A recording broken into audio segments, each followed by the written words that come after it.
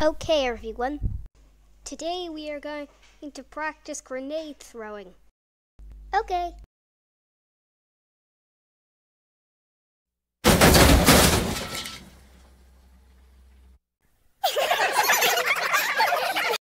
the end.